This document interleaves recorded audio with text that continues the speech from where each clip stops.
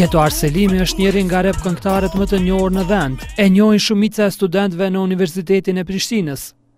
Por kaq i njohur nuk është atdhetari Hasan Prishtina, këto të dhëna janë nxjerrë nga një sondazh me gati 700 studentë.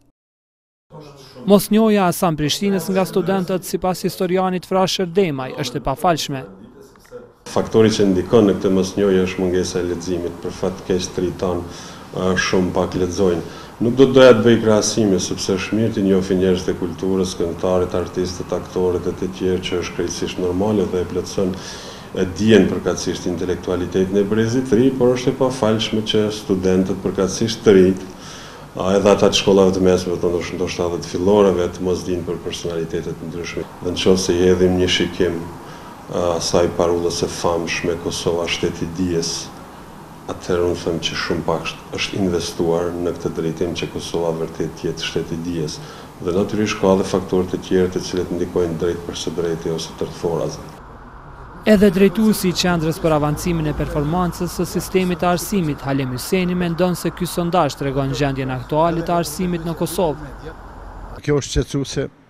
edhe kërkon një analizë, ekspertizë të gjithëmbarshme të sistemit të edukimit, sepse kjo çështje nuk është vetëm pse tani nuk kemi një kulturë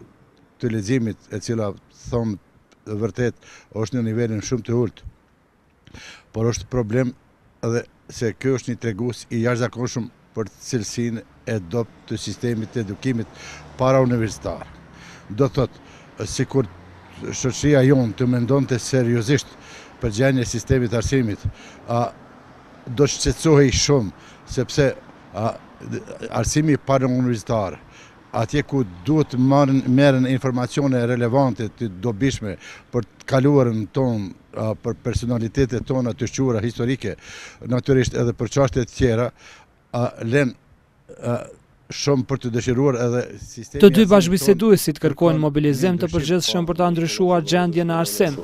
Dhe në qoftë se nxënësit tanë e kryejnë krejt shkollën e mesme me një fletore në xhep, pastaj injoranca bartet në nivelin e tretë, përkatësisht në fakultet, sepse Pothuajse gjithë të rinjtë duan të studiojnë, askush gati të paktjen ata që shkojnë nëpër shkollat e zanatit ose shkolla që praktikisht e kryjnë merr një profesion të caktuar dhe pastaj konkuron në tregun e punës. Duhet një mobilizim i përgjithshëm nga shkolla, nga komuniteti i prindërve, nga shoqëria në përgjithësi e veçanërisht nga institucionet që janë përgjegjëse këtu, që janë Ministria e Arsimit, Shkencës dhe Teknologjisë edhe shkollat përkatëse. Duhet ndryshuar tekstet mësimore Duhet ndryshuar kurrikulat mësimore, duhet qasi krejt e re në reformimin, në procedurat e reformimit të sistemit të arsimit, duhet përgaditjen e kuadrit mësimor, po ashtu duhet ndryshuar në thelb, sepse fakultetet të cilat përgaditin kuadrin mësimor, po ashtu nuk jon në nivelin që duhet të jenë, po duhet të them se kjo çështje është shumë komplekse dhe duhet të gjitha hallkat e zinxhirit që jon relevante për ta avancuar, Qëllimi i sondazhit ka qenë që të krijohet një pasqyrë mbi njohuritë që kanë studentët e Universitetit të Prishtinës për dy personazhe të profileve të ndryshme, Hasan Prishtinën dhe Getoar Selimin.